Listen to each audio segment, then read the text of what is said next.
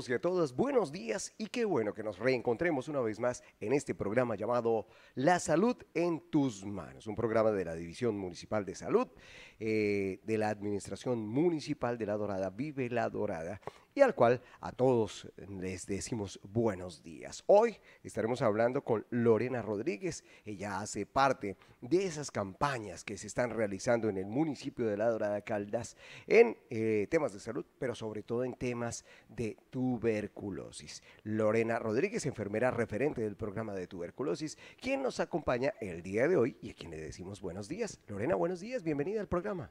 Eh, buenos días, eh, gracias por la invitación. Eh, pues gracias por, por, por, invitarme. La idea de, de, estar acá es que la población conozca un poco sobre qué se está haciendo desde la parte de la alcaldía para el manejo y el diagnóstico de los pacientes eh, que tienen tuberculosis. Muy bien. Vamos a arrancar por el comienzo, Lorena. Vamos a hablar acerca de cómo saber que puedo estar presentando los síntomas de tuberculosis. Eh, no es un diagnóstico como saber que tengo una gripa o saber que tengo tos.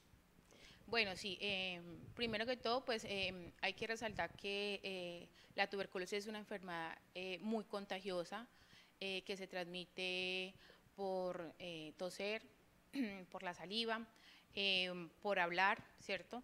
Es una enfermedad que de alguna manera es silenciosa. ¿Cómo podemos em, diagnosticarla o cómo podemos saber si tenemos eh, esta enfermedad? Eh, hay que tener claro unos, unos síntomas específicos para poder tomar eh, medidas. Entonces, ¿cuáles son los síntomas para poder yo saber si de alguna manera tengo alguna manifestación de la enfermedad? Eh, entonces, primero, que tengamos una gripa más de 15 días, ¿cierto? Que estamos con una tos, puede ser con o sin expectoración, eh, puede haber pérdida de peso, puede haber pérdida del apetito, sudoración en las noches. Si yo presento más de dos síntomas que se acaban de mencionar, posiblemente esté cursando por la enfermedad. ¿Qué debo de hacer? Es muy fácil, ir al centro de salud a su EPS y em, pedir una cita médica para que se le ordenen sus exámenes. ¿Qué exámenes se toman? Es muy fácil, es una prueba de saliva, de esputo, donde se hace un análisis y se puede detectar si tenemos o no el bacilo.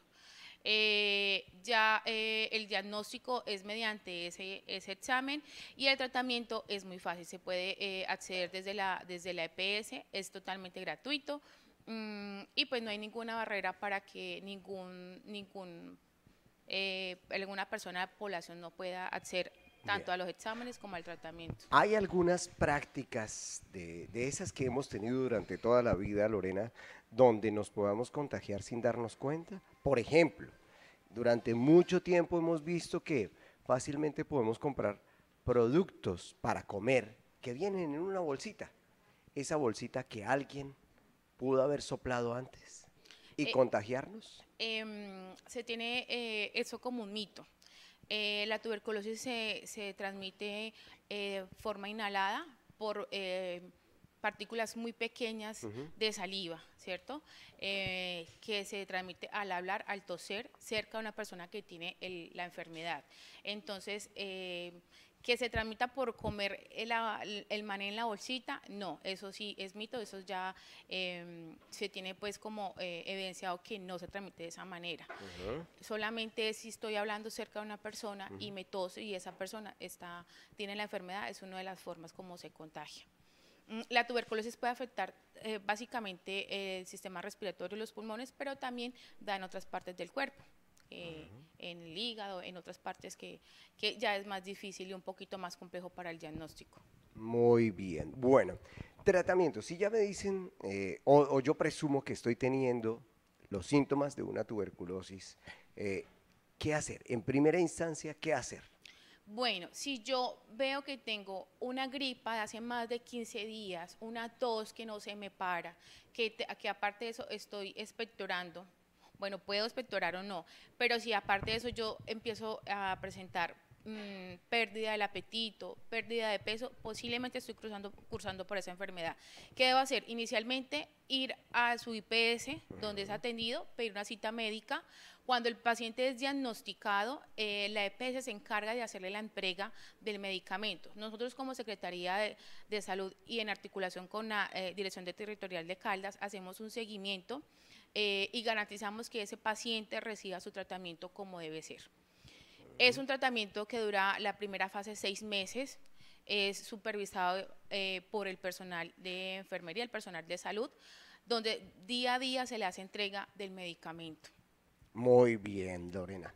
Interesante porque es un tema que nos puede afectar a todos. Es un tema en el cual debemos tener eh, y juega mucho el tema de la higiene, el tema de tener un buen cepillado, el tema de un buen eh, aseo personal, una buena lavada de manos también nos puede evitar que tengamos este tipo de enfermedades que a todos y a cualquiera en el hogar o en el trabajo nos podría estar afectando. Entonces juega mucho el tema de la higiene y juega mucho el tema de, de bueno, de si tengo los síntomas, visitar a tiempo al médico. Eh, hay que tener en cuenta, sí, claro, hay que tener en cuenta que las enfermedades no miran ni clases sociales, ni, ni, eh, ni nivel educativo. A cualquier persona de cualquier clase social nos puede dar una tuberculosis. Todas las personas estamos expuestas. La idea es que eh, aprendamos a identificar los síntomas y poder ir a tiempo eh, al centro de salud. Eh, es una enfermedad demasiado contagiosa, entonces si yo la tengo y no detecto los, síntomas a tiempo, yo puedo contagiar a toda mi familia, a mi pareja, a mis, a, a mis papás, a mis hijos, ¿cierto? Entonces es una enfermedad que hay que estar muy pendiente porque es muy fácil propagarse y muy fácil contagiarse, porque solamente es hablando.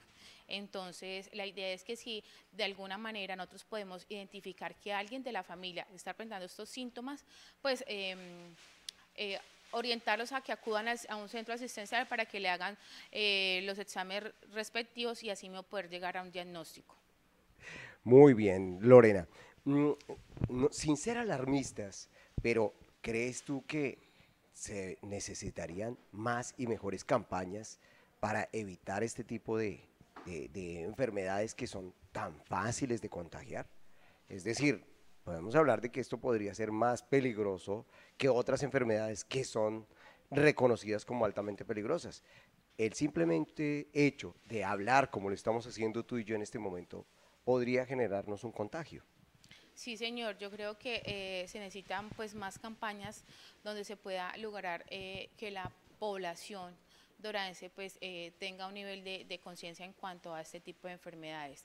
Em, la idea es orientarlos a que aprendan a, detectar esos síntomas y qué hacer en el momento, porque es que eh, el problema no es que ellos sepan cómo son los síntomas o cómo detectarlos, sino que no saben dónde deben acudir ni qué exámenes tomar. Este tratamiento es totalmente gratuito, ¿cierto? Eh, todas las personas eh, pueden acceder, es más, hasta las personas que no tienen ningún tipo de afiliación, eh, la, la S Salud Dorada o la S Salud San Félix están en la obligación de hacer estos tipos de, exámenes, a la población que no está asegurada. Muy bien. Sabemos que la División de Salud ha venido trabajando fuertemente en varios aspectos y este no es la excepción. ¿Qué lugares han visitado? ¿Qué lugares han, tenido en esas campañas y en esas jornadas que ustedes realizan? Precisamente eso, buscando y detectando eh, esos posibles casos eh, y esperemos que hayan encontrado muy pocos. Bueno, eh, el programa em, básicamente hace una búsqueda de sintomáticos respiratorios pues, para detectar si el vacilo se encuentra en población. Eh, ¿Cuáles son los lugares donde más se pueden presentar, donde hayan hacinamientos? Se hacen mensualmente visitas al centro penitenciario, a los asilos, a los comedores, donde se hace una búsqueda activa de estos usuarios. Eh, se hace también eh, en los colegios, en las instituciones, con el fin de brindar educación para que sepan cómo identificar estos síntomas. es una enfermedad que de alguna manera tiene, tiene como, no preferencias, pero sí afecta un poco más a la población, o mayores de 60 años o niños menores de 5 años, pues por su sistema inmunológico. Entonces lo que hacemos es tratar de buscar en estos sitios donde se encuentra esta población y eh, poder pues eh, hacer una búsqueda activa de, estos pacientes. Hacerle frente a este tipo de enfermedades que son tan fáciles de contagiar. Bueno, ¿qué medidas tomar porque planteamos todas las situaciones, ¿verdad? Cuando vamos a visitar algún amigo o algún familiar o algún ser cercano o conocido a un hospital donde hay tanta proliferación de, enfermedades y que de pronto haya alguien que tenga tuberculosis. Tenemos, ¿Podemos tomar alguna medida o a esa persona la tienen en un lugar separado? Bueno, eh, las personas que son diagnosticadas con tuberculosis y que están en tratamiento, perdón, los primeros 15 días son pacientes que se dejan en aislamiento porque son altamente eh, contagiosos, ¿sí? Pero después de ya recibir eh, sus 15 días primeros de tratamiento, ya la persona deja de ser eh, contagiosa, entonces ya puede eh, socializarse con, la, con las demás personas. Obviamente hay que tener unos cuidados como es el uso del tapabocas. Hay dos tipos de tapabocas, el convencional que conocemos. Y el que nos venden en cualquier droguería. sí, señor, y está el tapabocas de alta eficiencia que es N, N95. Ese es el que debe usar el paciente ¿cierto? Para evitar contagiar a otras personas. El lavado de manos, que es primordial. Es vital. Ajá, es vital. Y pues como es una enfermedad que se contagia por vía respiratoria, pues el uso del tapabocas. hay muchas personas, eh, y nos incluimos, que de vieja data, al toser, lo primero que hacemos es ponerlos la, mano enfrente de la boca. Eh, ¿Sería bueno y recomendable mejor la utilización del pañuelo? Como eh, antiguamente se hacía que se dejó de usar. Sí, eh, lo ideal es cuando se, se, vaya a toser no taparse con la boca, sino con la parte del antebrazo, ¿cierto? Es decir, con la parte del codo. Del codo, exacto, sí señor. O usar eh, un pañuelo. La idea es que pues cuando no tose en las manos quedan las bacterias y quedan pues los... Y después pasa el saludo de ¿cómo está? ¿Cómo le va? Y pasamos la mano.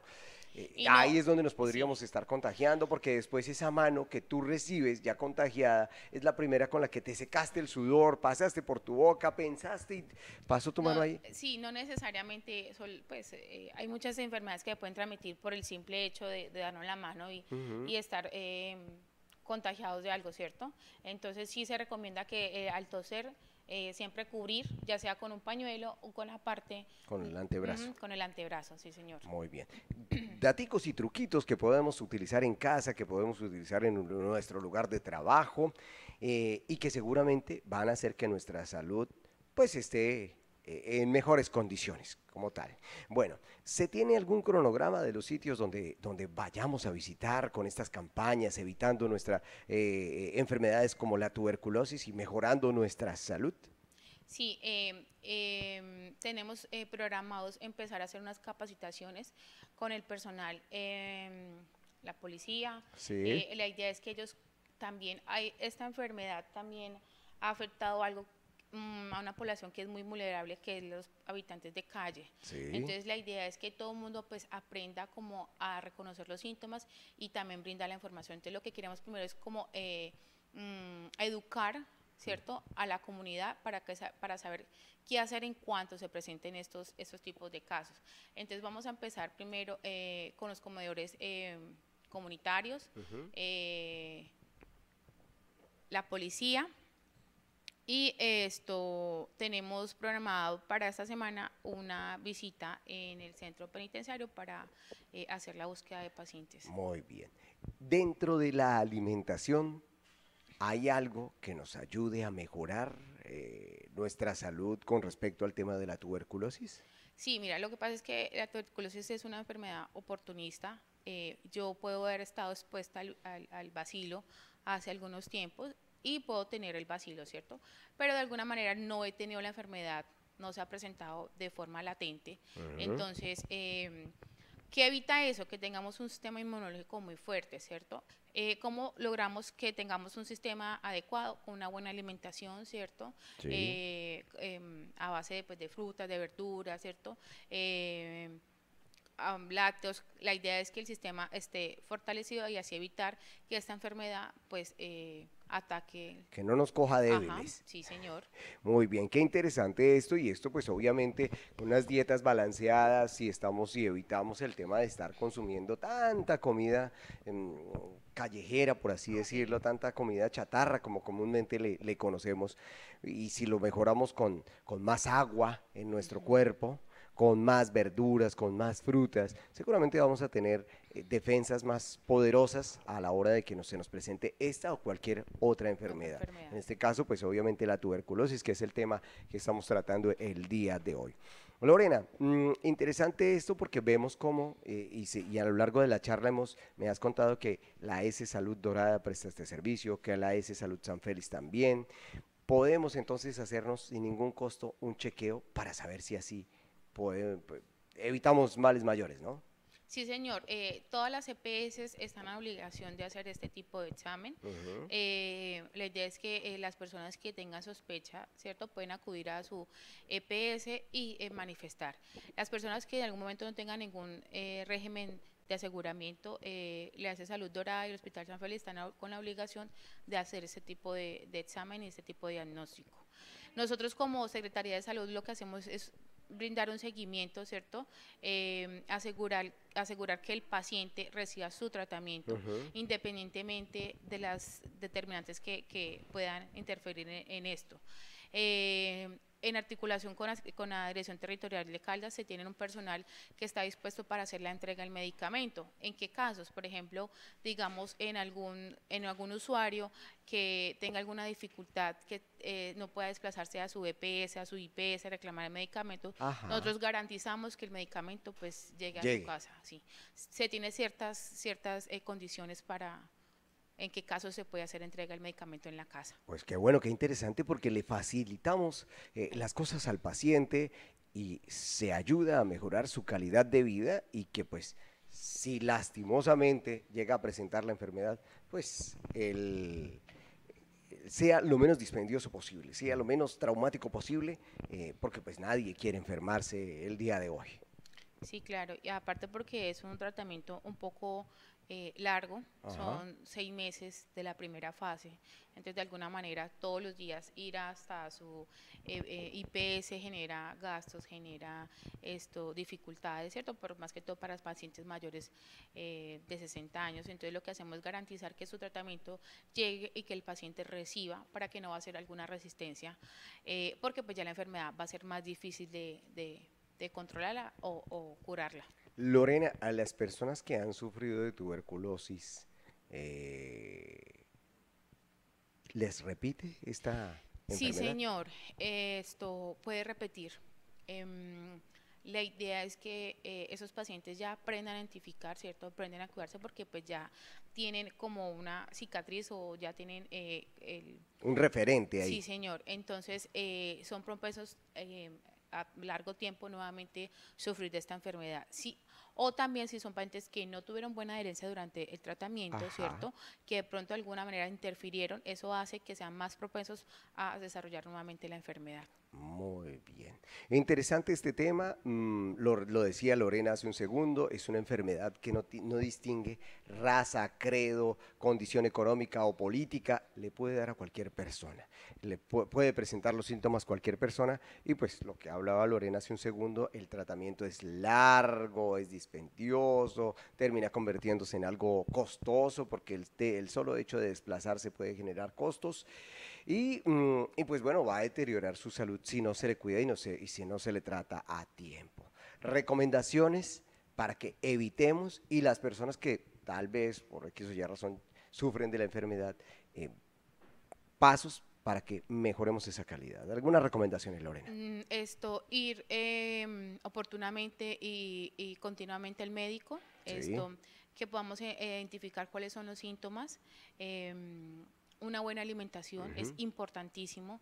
Eh, y nada, o sea, eh, yo creo que también hace parte de la higiene, la higiene personal, entonces eh, yo creo que con que apliquemos esas cositas, estar alertas con nuestra salud, nosotros mismos conocemos nuestro cuerpo y sabemos cuando algo no está, no está funcionando bien. Y si yo llevo una tos de hace 15 días, bueno, o sea, algo está pasando. Algo está sucediendo allí. Entonces la idea es que empecemos, que le hagamos caso a nuestro, a nuestro cuerpo y podamos identificar eso que no está funcionando bien y acudir al médico oportunamente. Muy bien, Lorena. Interesante. Si el caso se presenta, porque lo repetimos, puede pasar en cualquier persona, ¿qué hacer con nuestro entorno? ¿Qué hacer con nuestra familia? Para que después no terminemos desencadenando eh, un mal familiar, sino que simplemente pues si se presenta, tratarlo de la mejor manera y que no contagiemos a más personas. ¿Qué hacer? ¿Qué medida tomar? Bueno, eh, cuando es diagnosticado un paciente por primera vez, eh, nosotros desde la parte de la Secretaría de Salud hacemos una visita al domicilio donde identificamos cuáles fueron las personas que tuvieron contacto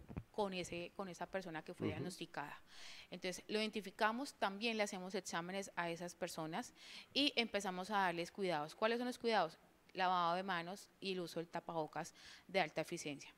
Después de que ya hacemos la visita, nosotros hacemos un seguimiento, ¿cierto? La segunda visita la hacemos a los seis meses, donde cuando ya el paciente termina el tratamiento para mirar si el paciente se curó, ¿cierto? Si las personas que estuvieron alrededor estuvieron en contacto adquirieron o no la enfermedad. Entonces nosotros desde la parte de Secretaría de Salud no solamente hacemos seguimiento al paciente, sino a las personas que entran en contacto con él, para evitar que la enfermedad se propague y pues así evitar más contagios. Muy bien.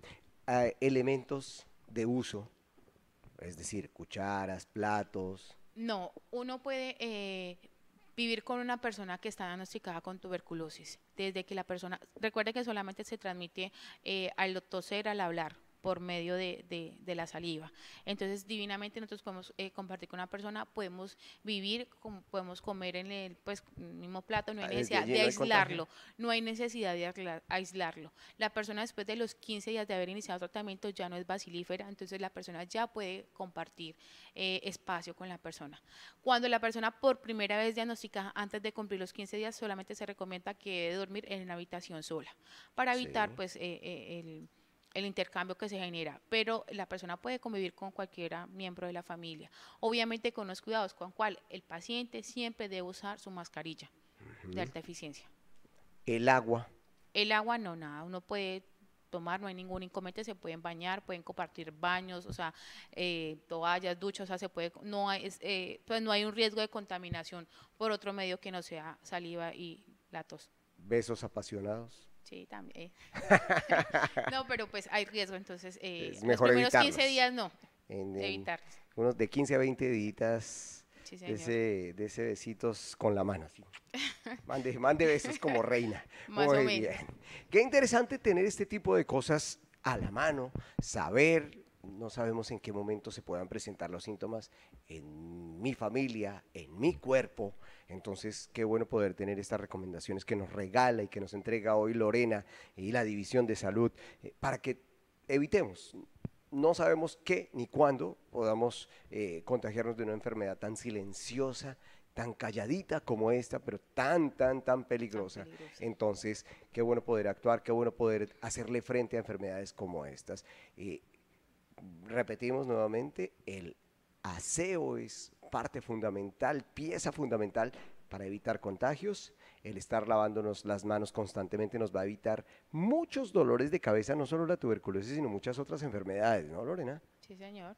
Bien, y el tema de la alimentación. Son tres cosas básicas importantes que debemos tener en cuenta en nuestro hogar, en nuestras casas, en nuestros lugares de trabajo también, porque allí eh, eh, lugares donde, por ejemplo, atendemos público, pues es, muy importante porque no sabemos y no le podemos hacer un escaneo antes de que entre la puerta.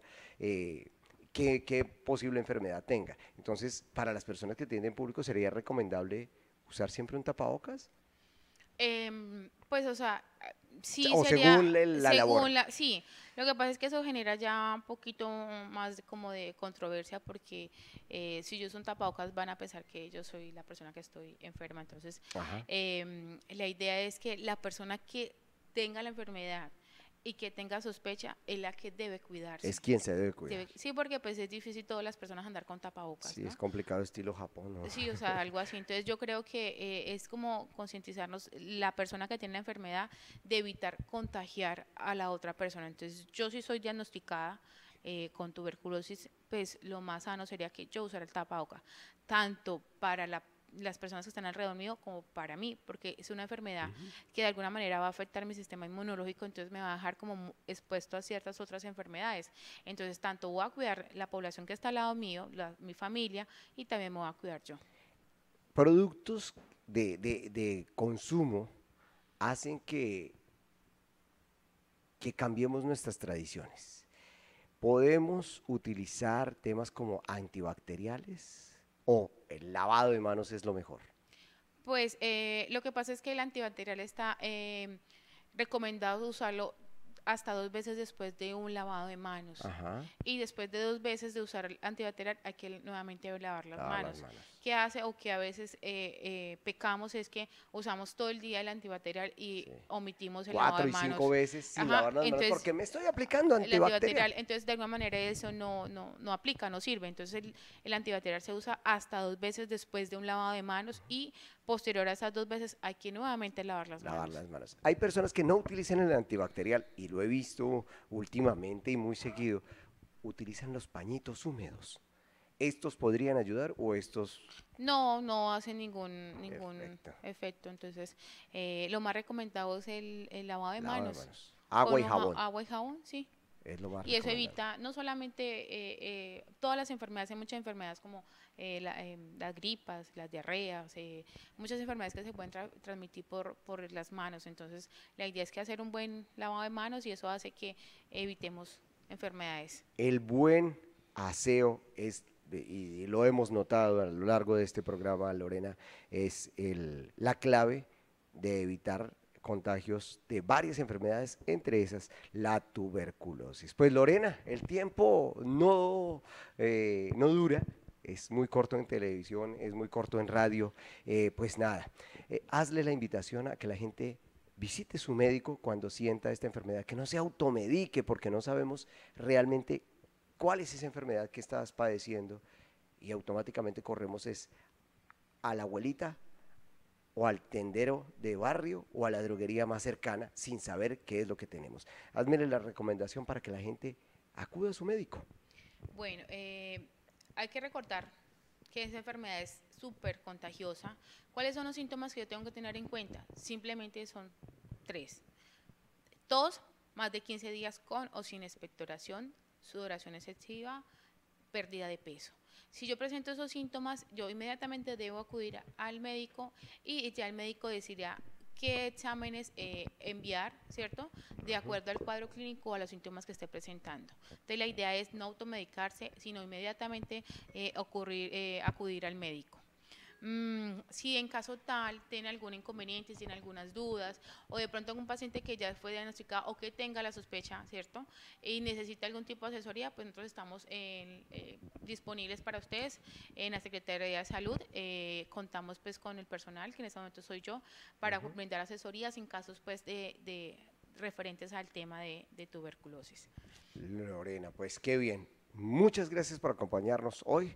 Es Lorena Rodríguez, quien es eh, enfermera referente de este tema de la tuberculosis, quien hace parte de la S Salud Dorada, quien hace parte del cuidado de nuestra salud en la Dorada Caldas y sus alrededores. Muchísimas gracias y nos encontramos en otro próximo programa para seguir hablando de este y otros temas más. Sí, muchas gracias por la invitación. Gracias a todos. Muy bien, señores. A ustedes, muchísimas gracias por acompañarnos y nos encontramos más adelante con otro de estos espacios que nos brinda la División de Salud Pública aquí en este programa llamado La Salud en tus manos.